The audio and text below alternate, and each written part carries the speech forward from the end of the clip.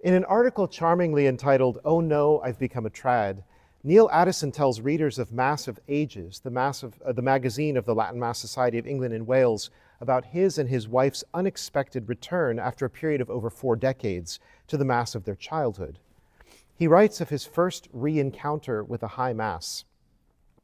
Quote, it would be wonderful but inaccurate to say that attending that Mass was a road to Damascus, wow, this is what I've been looking for moment. But the reality was that we simply decided it was sort of nice, and we could maybe go back occasionally just to see how this experiment was working. What we hadn't banked on was that the Latin Mass is subtly seductive. You think a little won't affect you, and suddenly you're going regularly. In many respects, the Latin Mass is easier than the English Mass, where I can sometimes feel I am being lectured at the entire time. With the traditional Mass, I simply have the chance to be present at a sacred event and time to pray. Unquote. I'm sure many here can relate to what Mr. Addison is talking about. There are two things that leap out to me in his testimony. First, he calls the Latin Mass subtly seductive. He's right, but why is he right? What is it about the old liturgy that works in a subtle way to draw us into the act of worship? Second, he talks about the paradox of the old liturgy being somehow easier than the new one, in spite of the fact that the whole Catholic world was turned upside down in the 1960s in order to make the Mass more accessible, as the experts said. But accessibility turned into vernacular verbosity, and that causes a lot of people to be bored and to forget about God, about prayer to God about being with God. There are many reasons the Latin Mass is effective at what it does, effective in communicating what can never be fully put into human words. When I say communicate, I mean it in the old fashioned sense, entering into communion with, as when we talk of Catholics communicating at Mass, meaning receiving the Lord. For this is the crucial thing not hearing talk about God, but meeting God, seeing Him, tasting Him. This evening, I will explore one of the more important aspects of the traditional Latin Mass the dominance and power of nonverbal language. I think it's fair to say that the Latin Mass, whether we're speaking of a low Mass, a high Mass, a solemn high Mass, or a pontifical Mass, is characterized by a sacred atmosphere, a prayer saturated environment that helps us to quiet down and connect with God. What is it that creates this atmosphere? Imagine a person with no knowledge of the Catholic faith, or perhaps even of Christianity, deciding out of curiosity to step from a bright sunlit street into a church or chapel. As his eyes adjust, he sees a number of faithful dotted here and there in the pews, kneeling and looking ahead. At the far end of the church, in a more open area with more decoration than the rest of the church, he sees a group of men dressed in strange and elaborate garb, clustered around a large marble object with candles across it. They are all facing the same direction as the faithful. They are intensely focused on what they are doing. Their bodies block our view of their work, but they look as if they're huddling around a victim to kill it. It is clear, at any rate, that their attention is not focused on the people. Our observer feels that something very solemn and serious is happening, and that everyone in the building is, in their different ways, utterly united in this action, whatever it may be. If, in addition, he hears chant or polyphony and smells incense and feels the hard wood against his legs worn smooth by so many worshippers, four of his senses will be, like the four evangelists, proclaiming a presence to him, even if he is not yet able to call it by name. Our hypothetical visitor has already received his first and most important lesson in the Christian religion that something above and beyond man is the center of attention the goal of our strivings, the purpose of our lives. We have here a foundational experience of man turning himself towards the source of his being and destiny. As the old prayer says, I acknowledge thee to be my creator and sovereign Lord. Nothing, no amount of catechesis or homiletics or pastoral programs can ever substitute for this experience.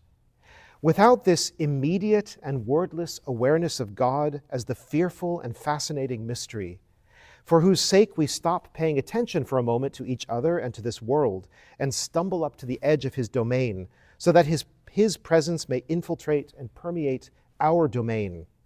Without this, I say, there is no religion at all, no worship, no liturgy. So, of course, what I was describing there was Christians worshiping ad orientem, right? Everyone facing eastwards. Christians worshiped this way for centuries before anyone thought to give an explanation in writing of why they do so. Worship ad orientem is not a doctrine, though it has doctrinal foundations and implications. It is not a statement or assertion or text that we can analyze. It is a bodily posture, an action we perform, an attitude we take with our being. It is, in that sense, pre doctrinal, pre verbal, pre conceptual. And that is part of the reason why it is so fundamental. The first things human beings take in after birth and during infancy are not subject predicate statements, but simple, sensible images. Language and thought grow in us slowly, but the face of our mother leaning over us in love is there from the start, immediate, palpable, dominating, and determinative. The fundamental symbols of the liturgy are like this they train us before we know we are being shaped by them, they determine our thoughts before we think them. They impress the truth on our eyes, ears, and noses, on our hands and knees. The gestures, postures, and objects of Christian worship are, for this reason, no less important than the texts of the liturgy. The practice of offering the Mass eastwards teaches us wordlessly that worship is about God, not about us.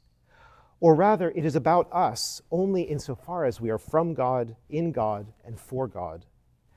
Hence, even though, as St. Thomas Aquinas says, the liturgy is for our needs, since God, who is infinitely good, stands to gain nothing from our actions, it is still done for the love and praise and thanking of God who is the source and fulfillment of our needs. Our need, in short, is for God, and our deepest need is to go beyond ourselves into Him. The purpose of worship is to take us out of ourselves and establish us in God. This objective orientation, we, we can't avoid the East even in the way we speak, orientation, right, turning to the East, should be visible, evident to the senses, easily grasped by the mind, and easily translated into the movement of the will that we call love. In connection with this visual orientation is the sonic orientation produced by three elements working together silence, sacred music, and the Latin language. Silence is a theme on which there is so much to be said, paradoxically, that we could never come to the end of it. It is important to recognize a few things about liturgical silence. First, it did not arise historically because people said, we want to have long stretches of silence when no one is doing anything. Sitting around in a group and doing nothing has never been a part of Christian worship. That's more like transcendental meditation or yoga. In reality, silences arose in the liturgy because ministers were busy doing something, either without words or whispering their accompanying prayers, and the result to the people was a gap in sound as far as the other participants were concerned, especially in a larger church where people might be located very far from the sanctuary. In other words, the silences of traditional Western liturgical rites are byproducts, you might say, of the hierarchical and theocentric nature of the action. Everything is, in some sense, directed to God, otherwise, it would not be liturgy, and not everything is for our eyes and our ears. The Roman canon is the greatest example of this phenomenon. The canon was originally said aloud. In fact, the Emperor Justinian, a busybody like most of the Byzantine emperors, tried to enforce its audible recitation by law. But already in ancient times it was said with a low voice and eventually came to be said silently. At the most solemn moment of the liturgy, when the words of the priest bring the sacrifice of Christ into our midst, or rather, bring us to the glorified Christ reigning in heaven, it seemed highly fitting that the priest should whisper it rather than recite it or sing it aloud. I am reminded of the words of Cardinal Robert Sarah Before God's majesty, we lose our words. Who would dare to speak up before the Almighty? To refuse this silence filled with confident awe and adoration is to refuse God the freedom to capture us by his love and his presence. In like manner, Joseph Ratzinger said, We respond by singing and praying to the God who addresses us, but the greater mystery surpassing all words summons us to silence. There's a psychological paradox at work here. That which is silent is, in fact, louder to the ear of the heart than that which falls upon the eardrum. In the same way that we tend to notice when something is missing from a certain spot rather than when things are present where they usually are. To put it as simply as possible, when everything is visible, nothing is seen. When everything is audible, nothing is heard. The coming to be of the silent word is accentuated by the going away of organized sound. The real presence is accentuated by the real absence. Silence is the golden setting for the jewel of mystery. At least in the Western tradition, as it has developed over the past 2,000 years, lack of silence indicates lack of mystery. The liturgy is inherently musical as well. We sometimes forget this due to the popularity of the Low Mass, which began as a private devotion for monastic priests and for the fulfillment of Mass intentions for the living and the dead, and has eventually spread to parishes because of its convenience for workdays and for Sundays with multiple Masses to accommodate overflow crowds. But the Church's liturgical rites, above all the Mass and the Divine Office, originated in singing, and for their full expression and impressiveness are meant to be sung. The Mass did not start as a bunch of spoken prayers with music being added on later as an ornament. No, the two modalities of liturgy were singing and silence. Contrary to what people might think, in history it was the pontifical Mass that came first, that is, the bishop's Mass, followed by its simplification, the solemn Mass, then the simplified version of that, the Missa Cantata, or High Mass, and finally the simplified version of that, the Low Mass. So that's the sequence in which it happened historically. Singing is a heightened form of expression, conveying dignity, seriousness, joy, exultation, and carrying with it a peculiar emotional effect that goes beyond the semantic content of the words. In a uniquely powerful way, Gregorian chant, the music native to the Roman Rite, is words with wings, born of a deep savoring of the Word of God in harmony with divine beauty and capable of lifting the mind and heart to the threshold of eternity. With its unsurpassed variety of modal melodies and its unmetered free rhythm, this chant, instantly recognizable as sacred music, poignantly signals that we are in the presence of God and are there to offer Him the incense of our lips and hearts. There is no other type of music that even comes close to Gregorian chant for the otherworldliness that the Mass demands. Let me put it this way Chant is not entertainment music or fill in the gaps background music or keeping people busy music. It is ritual music. That is, it embodies and actualizes and carries forward an act of worship, and therefore counts as itself a sacrificial offering, blessed by Him and bestowing blessings on those who fall into its waves. This is why St. Thomas can say that even if people don't know the meaning of every word that is being chanted, as long as they know it is sung for God's glory, that is enough to arouse their devotion. After singing and listening to chant for many years, I find melodies and words coming back to me at odd hours of the day and night, reminding me of God and of my heavenly fatherland. This music puts down deep roots in the soul. When we hear it start up in church, the very sound of it calls us to prayerful attention. In that way, I would argue that Gregorian chant is a fine example of non-verbal language, since there is so much more going on with it than mere words.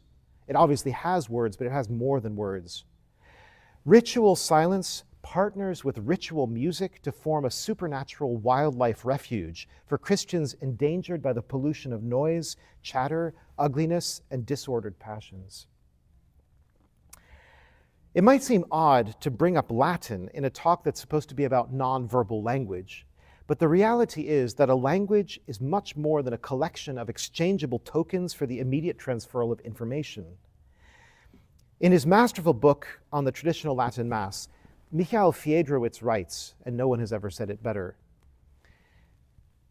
if sacred languages existed in numerous cultures in almost all epochs of history and still continue to exist, this fact is an expression of a fundamental human need. In the background stands a particular religious experience that shapes and changes speech and language. It is the experience of something supernatural, divine, transcendent, and wholly other, to which man seeks to respond by using a language that differentiates itself from the form of everyday speech. Herein lies the origin of so called hieratic or priestly languages. Far from creating a language barrier, the sacred language calls to mind that religion has something else to say to man than the everyday. The sacred language prevents man from dragging the divine down to his own level and instead lifts man up to the divine, which it does not, however, reveal and expose completely to the human understanding, but instead indicates as a mystery. Here, the church also proves to possess a thorough understanding of human nature, as in this way she helps her faithful to detach themselves from their everyday language, where each word recalls profane realities, and to feel even sensibly the holy other sought by all piety. The sacred language spreads a delicate veil over the truths of the faith, which protects the holy mystery and eludes hasty comprehensibility. That's, that's Fiedrowicz. Dr. Joseph Shaw offers further insights.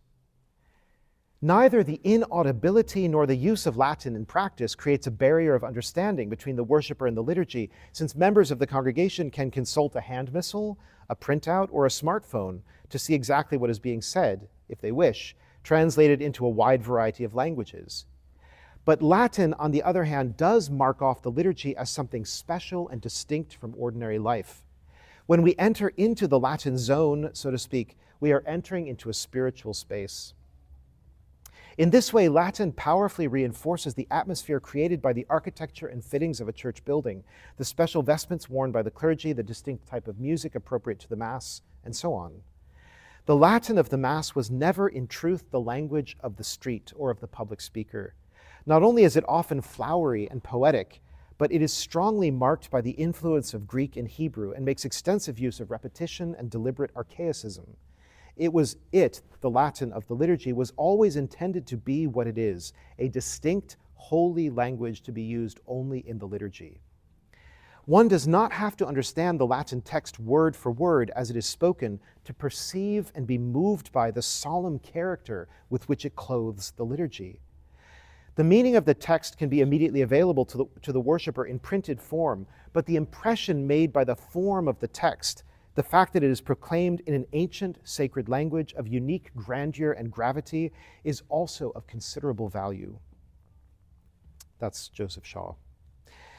One of the lessons we can take away from Fiedrowicz and Shaw is that language is never merely language.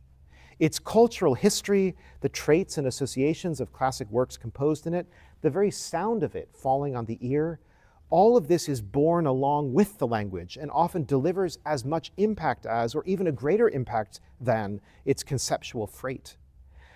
I know that for me personally, the moment I hear In nomine Patris et Filii et Spiritus Sancti, Amen, introibo ad altare Dei, I am immediately placed in a different zone. The door to the world is shut. My mind is fixed on the altar. Divine worship has begun.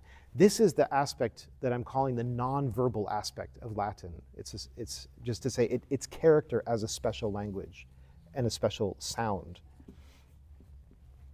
In the past 60 years, far too much emphasis has been placed on the vernacular spoken by a particular group of people, as if it is somehow the magic key to participation. But it's anything but that.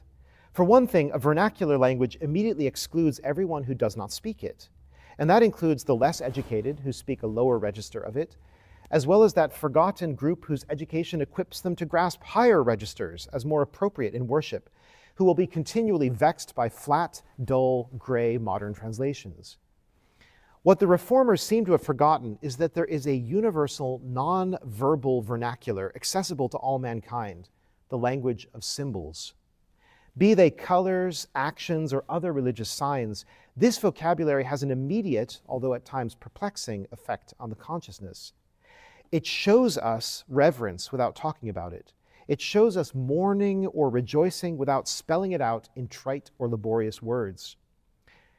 Example A black chasuble, unbleached candles, a catafalque, and the repeated refrain, Requiem aeternam, instantly tell us more about the meaning of a liturgy for the dead than a hundred books written on the subject. So, this brings me to my next major point symbolism. I'll enter into this topic by making a general point. Nothing in the liturgy is ever merely practical or utilitarian, everything is symbolic. If clergy process to the altar solemnly or casually, it's not as if the solemn entrance is symbolic, but the casual one isn't. Both of them are, but they signify different and contrary truths. If the clergy wear an elaborate vestment or a plain polyester drape, each is symbolic. If they speak in an ancient hieratic tongue or a modern vernacular, that's symbolic too. And likewise, if one speaks in a natural voice and the other uses a microphone. If they, faced, if they face eastwards with the people or faced westwards over against the people, both are symbolic. If we are singing medieval plain chant or a folksy refrain from the 1970s, that is unquestionably symbolic. As rational animals, which also means social and liturgical animals, human beings are not just wielders of tools, they are weavers of symbols. What we do, what we do, and how we do it carries significance. It cannot be otherwise. When we act ceremonially in, in a church, we signify who we are, who we believe God to be, and how we construe the relationship. Once again, I'd like to quote a first person testimonial, this time from an old college friend of mine who, like me, spent many years in the so called reform of the reform camp, and who, like me, has crossed over to the beauty and orthodoxy of the church's traditional rites. A former teacher of ours had complained about a Latin Mass he'd attended. My friend wrote in reply I'm sorry to hear that you felt bewildered at the old Mass. I felt that way when I first started going as well. Many things were foreign, but I decided to let the rite just be itself. After all, it developed naturally over the course of centuries, so it must have something going for it. I have to admit, it took some adjustment. It's really a different way of going to Mass, from an almost exclusively linear, literal, left brain exercise to where I could let other faculties kick in. If you go to the old Mass expecting the same experience as the new, you'll be bewildered just like I was at first. The use of Latin was actually a relief to me. No need to have to take in every word for an hour. That's what you have to do. uh, letting the ritual actions and symbolism, almost an afterthought in the new rite, come into greater relief. The Mass revealed itself to me first and foremost as an action of Christ, more than as a service or something we did. Words fall short and often get in the way, and by this standard, the almost nonstop verbal expression in the new rite compares poorly with the multi layered symbolism and iconic ritualism of the old. When I stopped trying to make the old rite conform to my way of thinking as a modern and trusted it to form me according to its own spirit, my bewilderment turned to peace and gratitude. One of the most striking aspects of the Old Mass is the immense power of its wordless symbols.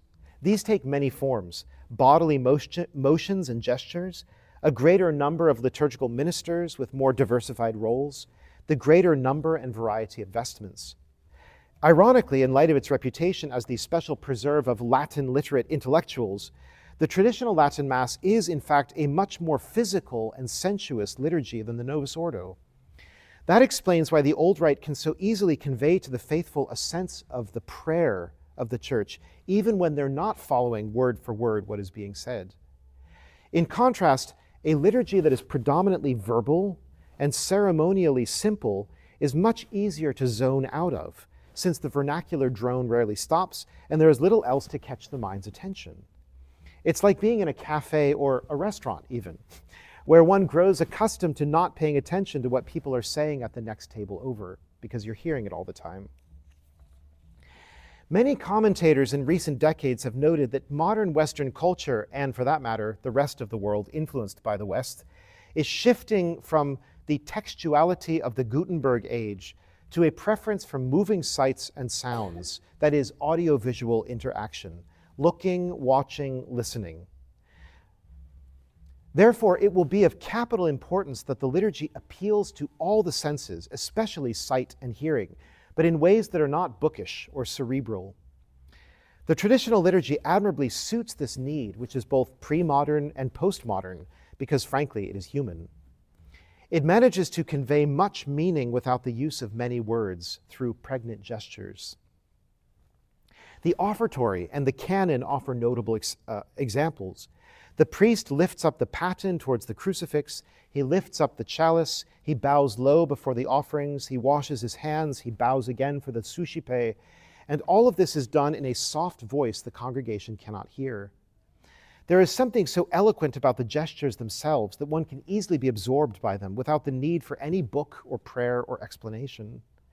It is like a mother's calming touch on a crying child, or a lover's caress of the beloved's face or a policeman's upraised arm stopping traffic. Wordless but effective. Indeed, all the more effective for being wordless. As St. Thomas Aquinas says, we exhibit signs of humility in our bodies in order to incite our affections to submit to God. Thus, when we genuflect, we signify our weakness in comparison with God. And when we prostrate ourselves, we profess that we are nothing of ourselves. Those, those meanings are somehow implied in those very actions. Yet there is something more. The silent but definite gesture, such as these, these from the offertory and the canon, is open ended in its intelligibility. It has not yet been pinned down by accompanying audible words, so that it must mean only this and not that. Thus, while the offering up of bread and wine is not susceptible to an infinite variety of interpretations, neither is it prematurely and preemptively closed off by a script. Watching it, the faithful can fill it to some extent with their own meaning, prayers, or aspirations. There is room for a healthy subjectivity. It is a kind of controlled environment for the free flight of religious imagination and feeling. Let me try to explain what I mean by that. As I watch the priest lifting the paten with the host silently, or lifting the chalice with the wine and a drop of water, I could think of the bread and wine being offered up to God as my own life and labor and suffering, which I give to Him to be transformed. I could place on the paten with the host a suffering acquaintance, a deceased friend, an estranged relative, a child or a grandchild who needs my prayers. I could marvel at how special the priesthood is to be able to offer gifts and sacrifices in atonement for sins. The thought might occur to me that the angels wish they could make an offering like this Perhaps they have a holy envy at what a man gets to do, which they, being bodiless, will never be able to do. I could think about the way Christ Jesus, summing up the whole universe in his person, is offering to God the whole of creation. Basically, anything to do with offering, sacrifice, gift, dedication, mediation, it's all compressed into these wordless rituals, which thereby acquire a kind of weightiness that carries me along with the motions, even if I have no words or ideas in my head at all.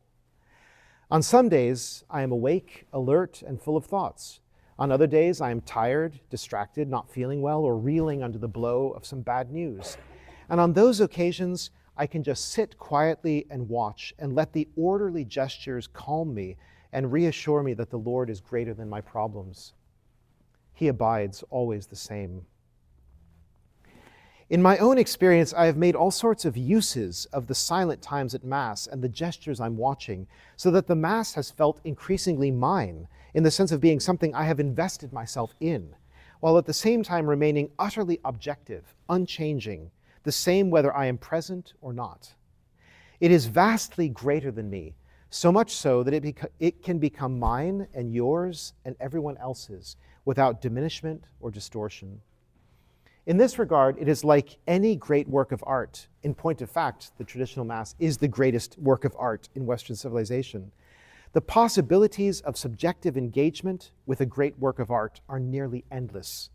But the work of art remains exactly what it is, pre existing us and surviving long after we are gone. Pondering all this has helped me to understand why I always feel such a sense of spacious freedom at the traditional Latin Mass, and why, in the years of my life when I was still attending the Novus Ordo, I came to feel at times imposed upon and pushed around by it, like a refractory child in the hands of an imposing schoolteacher. The classical Roman Rite is so dense with layers of fixed prayers and regimented actions that it has a kind of inevitability about it, like a natural process.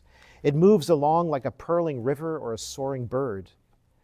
Watching the priest go through the offertory or the canon, or watching the servers pass by, weave around, genuflect, and bow, is almost the same psychological experience of meditative peace as watching the river ripple past or the bird float in the blue vault of heaven. Today's fashionable lingo might apply the word Zen to my description, and yet the Mass has nothing to do with canceling oneself out into a cosmic oneness or nothingness. We are still bound to a particular apostolic rite, suffused with Christian meaning. So our meditation, whatever it is, invariably circles around and leads us back into the mystery of the life, death, and resurrection of Christ and the glorification of the one true God, Father, Son, and Holy Spirit. We will see the same thing if we look at the hundreds of symbolic actions and items used in the traditional liturgies of the Church. During the Latin Mass, the priest makes many bows, genuflections, kisses of the altar, and motions with his hands. He frequently makes the sign of the cross upon himself and upon other objects on or around the altar. He moves from place to place with a studied step and a definite destination. All of these things are done for a reason. We can trace their historical origins and subsequent developments. We can identify their practical purpose or spiritual significance. But these symbols are open ended. They not only allow for, they positively encourage the faithful to see meaning in them, even to invest them with meaning, as occurred in the flourishing of allegorical explanations of the Mass, which flourished in the Middle Ages and were bitterly deplored by later liturgists. What I mean by the allegorical explanation is when when, a, when an author says, you know, the, the, the sequence of events in the Mass is like the sequence of the events in the Passion of Christ. And then they associate this thing with the stripping of Christ and this thing with the scourging of Christ and so forth. That's what I mean by an allegorical explanation.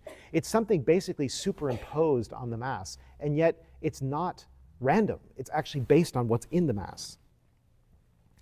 Yet, even subjective or arbitrary interpretations can essentially be in harmony with the objective referent, as meditating on the mysteries of the Rosary is essentially in harmony with the representation of the same mysteries in the Mass.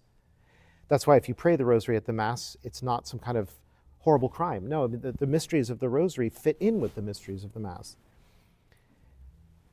The ancient medieval exegetical freedom exercised on the traditional rites given to us by the same ancient and medieval church has often led me and others to notable breakthroughs in our understanding of the faith and how to live our life.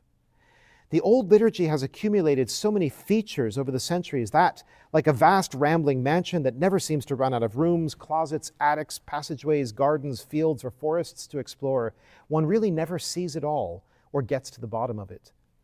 The old liturgy has a quasi infinite number of hooks on which we can hang our thoughts and feelings. What's the upshot? I guess I would say do not be afraid to attach personal meanings to ministers, objects, or actions, or to adopt the allegorical meanings given in devotional literature and so called methods of hearing the Mass, if they help you to pray. One sign of a great work of art, I touched on this a moment ago, is that it makes room for and has the wherewithal to provoke many responses, all tied more or less closely to its own ingredients and drawn back into them. The Mass is the greatest work of art the West has ever known, exceeding all others in its density and its fertility of cultural power. Reading off spiritual senses from the literal sense of the Mass is no less natural and fitting than doing the same with the narrative of Israel in the Old Testament. Let me offer you, offer you a wonderful and beloved example. At the elevation of the host and chalice, according to the instructions of the rubrics, the servers are to lift the priest's chasuble which was necessary originally because of the design of the medieval chasuble and its heavy, richly ornamented fabric. Today, this custom is maintained or retained despite modified forms of vestments, not least of all because of its beautiful and symbolic meaning when one recalls the woman with an issue of blood who was healed by touching the hem of Christ's garment, and then sees in this gesture a symbol of the sanctifying power that emanates from the sacrament of the altar. Lest you might think I am saying that the traditional Mass is a sort of playground for the daydreaming imagination, I hasten to point out a fundamental truth. The Mass, as it developed over the centuries, always moved in the direction of ever greater coherence between form and content. That is, the ever more perfect expression of what we believe in how we pray. In other words, the Tridentine Rite is a fully articulated confession of the Catholic faith in all that it says and all that it does, what it contains and how it is performed, and just as importantly, what it prevents and excludes. In this way, the traditional liturgy is the most grandiose demonstration known to man of the familiar axiom actions speak louder than words. It doesn't matter if all priests and bishops started preaching the real presence from now until the end of time in every homily at the Novus Ordo. It will never make a difference because the liturgical rite itself does not proclaim, now in hushed whispers, now in resounding cries, Jesus Christ, the King of Kings, is present here in our midst. Fall down and worship him. It is not poor catechesis that explains the Pew Research Center, Center's discovery that two thirds of Mass going Catholics do not believe in transubstantiation. Rather, the form of the modern liturgy is inadequate to the mystery of the real presence. Father Robert Spataro makes just this point. He says, Objectively speaking, the old rite of Mass expresses faith in the real presence with greater devotion and, I would dare to say, greater conviction than the Novus Ordo. We all know well enough the ritual gestures of prostration before the Eucharist, as the law of belief becomes the law of prayer. Every time the hands of the priests must enter into contact with the consecrated species, he genuflects, much more frequently in the Vetus Ordo than, than, than in the Novus Ordo. Vigilant and diligent care is taken so that not even a fragment of the consecrated host may be lost. Think of the joining of the thumb and index finger by the priest from the moment of the consecration until the final ablutions, or of the use of the corporal and the other sacred linens. At the moment of the consecration, all the gazes of the faithful are joined as rivers into an ocean of love in adoration of the consecrated species. It is moving and edifying to see the faithful of every age and condition kneel down devotedly at the altar rail to receive the body of the Lord on the tongue as with paten in hand, the gaze of the minister or acolyte accompanies the motions of the priest, anxious that every fragment be collected and consumed. The whole Vetus Ordo, the Old Mass, is a splendid profession of faith in the mystery of transubstantiation. Unquote. That's Father Roberto Spataro. The wealth of symbolism in the Old Rite is not, after all, so difficult to grasp, even if it remains always beyond our complete grasp, which is good, not only for our humility, but even more for our piety, since we will never feel that we are masters when we are only ever disciples. There is always something to catch hold of, or more likely, something that catches hold of us. Think of how complex the Asperges rite is. I'll just give you this example. You have the intonation of a verse from the great penitential Psalm 50, taken up by the choir and the congregation, the priest walking up and down the church wearing a processional cope and sprinkling the faithful with holy water to purge their venial sins and call to mind their baptismal dignity, the bowing of one and all towards the sanctuary during the chanting of the Gloria Patri. This is Sunday worship. And Mass, properly speaking, hasn't even started yet, right? This is before the Mass. The Catholic faith must be in our bones, in our muscles, in our knees, in our hands, in our ears and eyes before it will ever permanently lodge itself in our minds and become the dominant force in our souls. There's a famous popular psychology book by Gary Chapman called The Five Love Languages The Secret to Love That Lasts. It's a very popular book, as you might imagine. His basic thesis is that there is not just one way to say, I love you, but five distinct ways, and each person gravitates towards one of these love languages. They are Number one, words of affirmation, quality time, receiving gifts, acts of service, physical touch. So, if spouses desire the best relationship with one another, they have to find out each other's love language and make a point of trying to speak it. That's Chapman's thesis. Mutatis mutandis, the theory can also be applied to the activity of liturgical worship. The, uh, the, the, the faithful have different worship languages, you might say. Some of the faithful lean heavily on the words of the liturgy. These are the sort whose missals are carefully beribboned, tabbed, and holy carded, and who are quickly frustrated if they can't follow along in their missals because they don't know which votive mass the priest is using. Others in the church just want to spend quiet time with the Lord. They tend to be drawn towards the, the low Mass and holy hours. Still, others are looking for ways they can interact with their minds and bodies, not necessarily based on the words, but based on an economy of giving and receiving, of doing rather than listening or talking. These people imitate many of the gestures of the celebrant. They are drawn to pray at the side altars, lighting candles at the shrines. The Latin Mass and the environment it creates afford a broad scope of engagement for all types of love languages. It has the words for those who rely on words, it has the silence for those who rely on silence, it has music and pageantry for those who lean on their senses. It has the physical engagement of making signs of the cross, beating the breast, bowing the head, genuflecting, and lots of kneeling.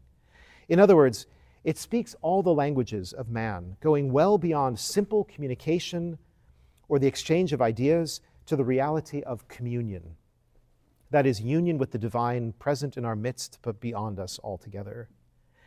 The end of worship, finally, is not to understand ideas, but to be one with God. This is the crucial point. Jesus, too, speaks all the love languages, which is why he gave us our great liturgy in the first place, why he has preserved it for us against the sins of his representatives, and why he continues to give himself to us in the flesh, not only in the spirit. I have argued that the Old Latin Mass communicates the ineffable, meaning the things of God and God Himself, through a powerful non-verbal language or even array of languages. In conclusion, allow me to draw three consequences from this truth. First, if I am right to say that the Old Mass speaks a rich language of symbols and that these symbols are there for a reason, we should try to improve our understanding of this language.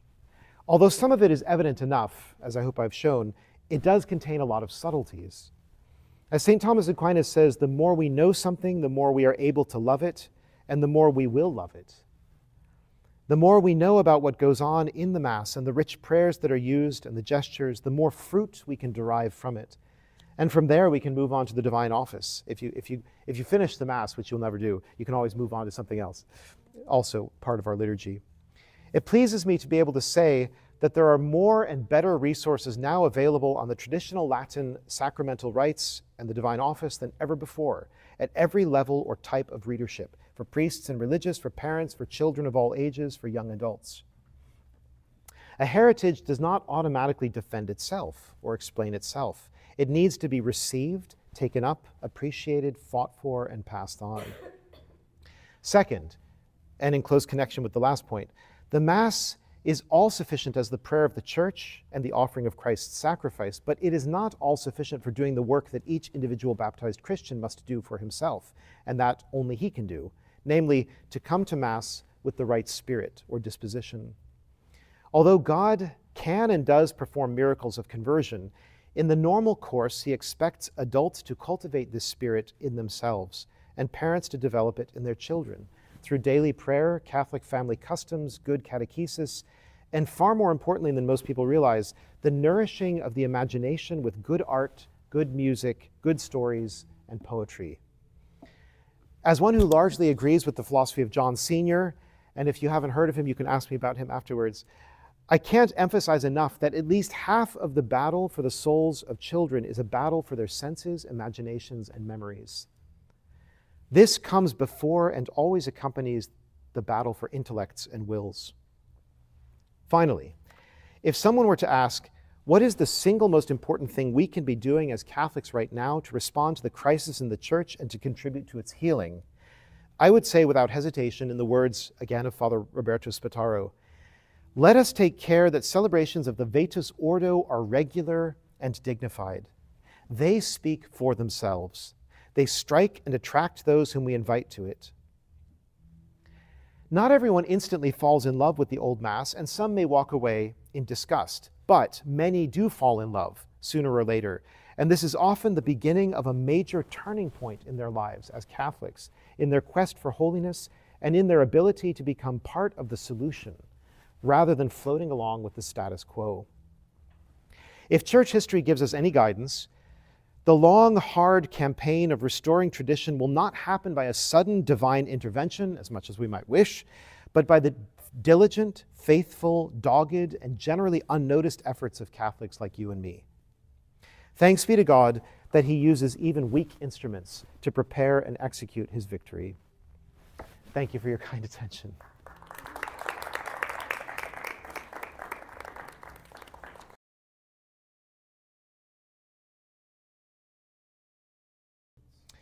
So is, is, the, is the challenge you're asking about how to form and keep going a Gregorian schola? Um, I mean, you know, in there, is, there, is one, there is one hard reality, and that is there has to be at least one person who can chant very well.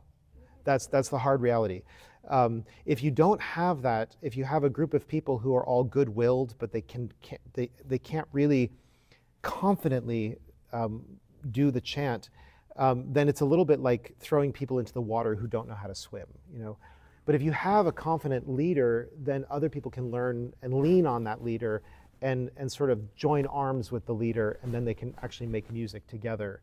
Um, so, you know, it, it is, I mean, I just, I would just say there are situations uh, that I've encountered where a particular community just doesn't have that capacity. Um, and you know then then it's almost like praying for vocations right? It's like we need somebody who can do this you know lord send us somebody who can do this or find the person who can do it. Sometimes there are people who are musical but you don't know it initially or or there there are, this is a big problem. I mean it's, it's a problem. It's it's both it's beautiful um, it's a beautiful problem but often you find that somebody who's a talented singer um, you know is very busy with a large family. And you know the husband or wife doesn't want to, to let the other one go. And i understand that. I completely understand that. Um, but it's it's really important to try to, to, to find that talent and then uh, and then use that as the kernel around which the schola can form you know. Um, i will say that uh, there, there are other, I mean, it, it, it, takes a lot to get to a fully sung, a fully chanted high mass with the full propers, the full ordinary. That's, that's a, a pretty tall order for a, a new choir. Um, but you know, it's possible to sing, even at a low mass, to sing some of the simpler chants like Ave Verum Corpus or Adoro Te Devote or Ave Maria um, or you know, uh, uh, Salve Mater. I mean, there's a whole host of chants that are much, much easier than the mass chants. And those can be sung as devotional songs, basically hymns at a low mass. Um, at a high mass, you know, the choir can work to sing the introit, but do the other ones in psalm tone, you know, in a, simp- in a much simpler way. So there's, there are definitely incremental steps that can be taken as well. And then the only other thing I'll mention is, um, although it's, I think it's best when chant is sung without organ accompaniment. Um, if you, sometimes it's, it's, it's necessary to have the organ accompaniment to keep it going and to hold up the pitch and to give people more confidence. Uh, and so nobody should feel ashamed about bringing the organ into it as well you know. except during Lent, of course, Lent and Advent. Yeah.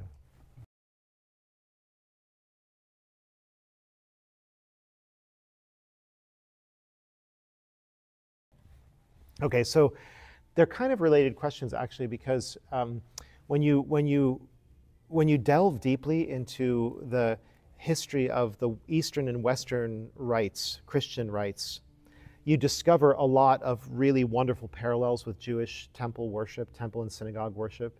Um, you know, for example, if you read in the Old Testament, in say the book of Chronicles, about the organization of the priests and Levites, uh, there, there's very much, there's a high priest, and then there are assistant priests, and then there are Levites. It's like priests, deacons, and subdeacons, so this kind of hierarchical picture that you get. There are also dedicated singers, it talks about that, which would be like the schola you know. Um, you know, you have incense, you have uh, Obviously, by the time you get to the book of Revelation, which is in the New Testament, but is also based on Jewish precedents, you have candlesticks, um, you know, uh, although that's also in the Old Testament. Uh, and so there are many, the, and, and of course, it's the whole Old Testament religion is sacrificial, it's ordered to sacrifice. And the sacrifices, some of them are holocausts that are completely burnt up, but others are offered to God and then the people partake of the sacrifice. And so that's also what we have. The Christian liturgy is fundamentally a sacrifice, not a meal. It's a sacrificial meal, but it's, it's not just a meal, right? And one of the biggest deviations that occurred during and after Vatican II, mainly, well, before, during, and after, um, if you look at the particular individuals who were influential, is that they really wanted to uh, re recast the Mass as a kind of reenactment of the Last Supper. And that's false. That's not what the church teaches. The church teaches that the Last Supper itself is when Christ instituted the Mass and the Eucharist, but in anticipation of his sacrifice on the cross the following day. And the Mass represents that sacrifice. It's not a reenactment of a meal, right? And this is such a, but the, the idea of the Mass as a meal is a Protestant notion. Luther is the one who first articulated that. Um, and when you get to somebody like Calvin, Calvin says because it's a meal, therefore people should take the food in their hands and feed themselves the way they do at a meal. And so Calvin abolished all kinds of, of symbols of the real presence because he said this is not, he did, you know, there isn't, there isn't the real presence. It's just a, a symbolic meal, right? A sort of brotherhood meal.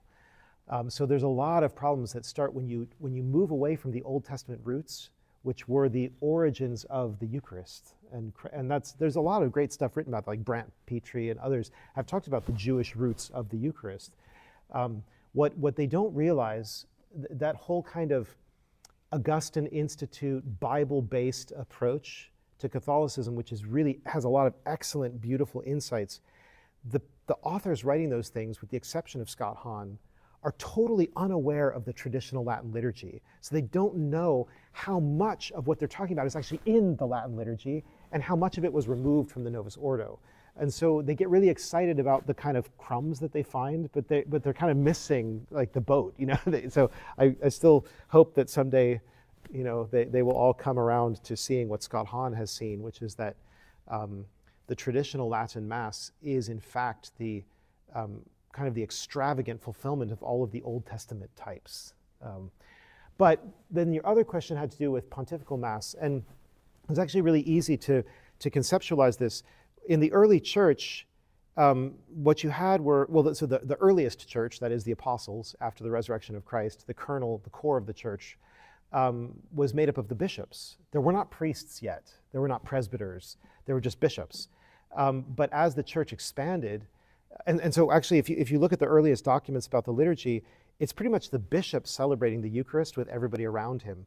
But you're going to pretty quickly outgrow that model where you have so many Christians that the bishop can't be everywhere. He can't say Mass for everyone.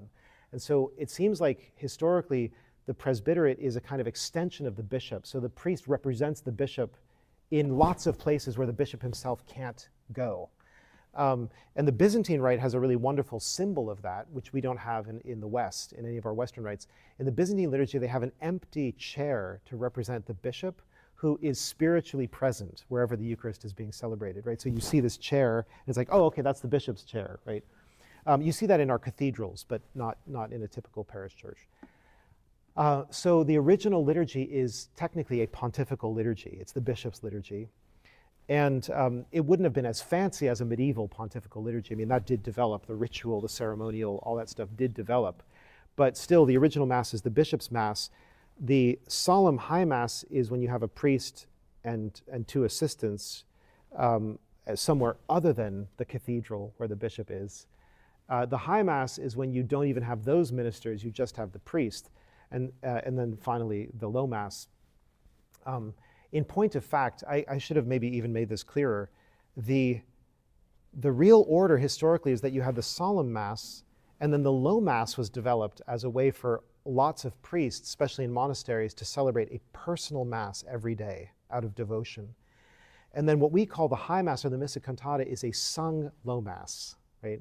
So this is something that a lot of people, it sort of uh, like initially fries the circuits when you hear it that way, but the, if you think about it, everything about the, the high mass or the missa cantata is simply the low mass, but with the priest singing things rather than saying them, and with other people singing what he says.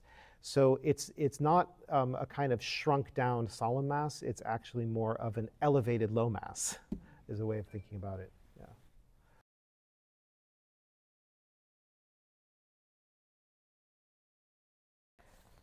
The point there, maybe maybe it's a point that's so obvious it doesn't need to be said, but um, but I, I, think what what uh, Father Roberto Spataro is saying is that you know the old mass speaks for itself. So the the, the best way of um, contributing to the healing of the crisis in the church is to try to multiply celebrations of it. Now, of course, you know, Traditionis Custodes makes that difficult to do. Um, this is this is the burden that we're all working under right now. But we have to keep thinking about the long term and not the short term. I mean, in the short term, people are taking hits here and there. Um, you know, Austin, Texas just lost one of their, their big masses at the cathedral. It's very, very, it's tragic. Um, but if we think in terms of the long run, there's more and more interest in the traditional rites of the church as time goes on. And you know, as as you yourself, you bear witness to this fact by being here. Um, you know, when I go to Latin Mass parishes and I travel all over the country and the world, they're just so young. Like the average age is really young. So that's where the energy is, that's where the youth is.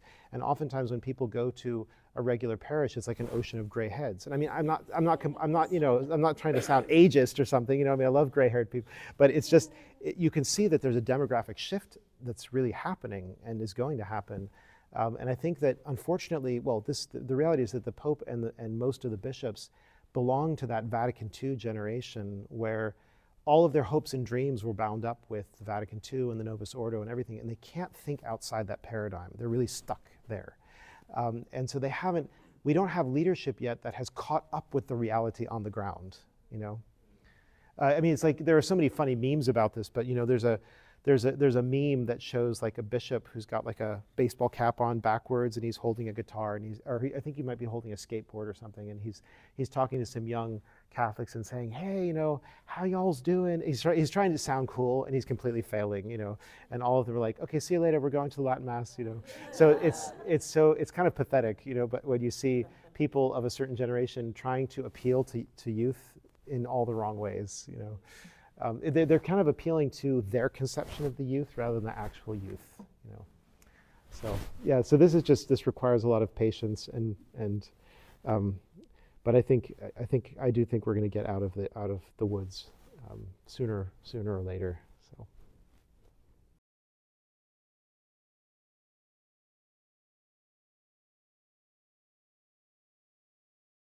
Uh, I think that there's a fair, at this point, there's a fair amount of what I would describe as informal fraternal fellowship um, between the Ecclesia Dei groups, the SSPX, the diocesan priests, um, uh, you know, even sometimes non-TLM priests who are sympathetic, who are trad adjacent, as the saying goes. Um, but uh, so I think there's, that's happening, but, but it's, it's not happening so well on a formal level yet. I think there's still a good bit of distrust on a formal level. Not distrust, that's not the right word, but just sort of like, this is my territory, that's your territory. We have to kind of stick to our territories. Um, and I understand that for you know the historical reasons behind that.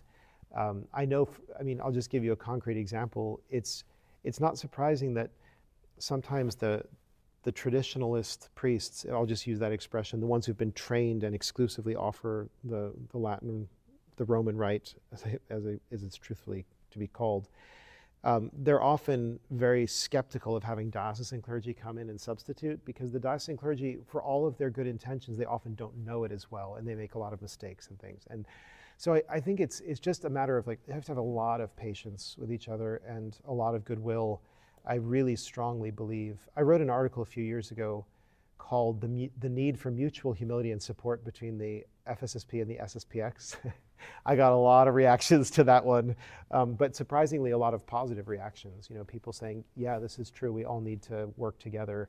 Um, when you know, when a ship is sinking, is not the time to argue about are you a Democrat or are you a Republican. I mean, you have to like save lives and try to keep the you know the ship from sinking or something. You know, so when you're when you're in a crisis, it's really important to make common cause as much as possible, and not. Um, uh, maybe maybe Democrat or Republican is not such a good example. Maybe something like, are you you know a fan of this football team or that football team? You know, something like that has to fall to the side. And I think uh, obviously the differences between the FSSP and the SSPX are you know are, are considerable ones. Um, but they're still in the business of the salvation of souls. They're still in the business of rescuing and restoring tradition, and they have so much in common. Uh, so, but I think also, let's make one last point. I think laity have a lot of freedom in this regard that the clergy don't have because the clergy are working within structures and they have to be faithful to their superiors and, and so forth. Whereas laity, we can be, we can afford to be more free floating. It's not good to free to be so free floating that you don't feel that you belong anywhere, but I think that um, we can be ambassadors of peace in that sense by becoming friends with lots of different traditional Catholics and, you know, and showing showing that fellowship concretely. So that's my answer.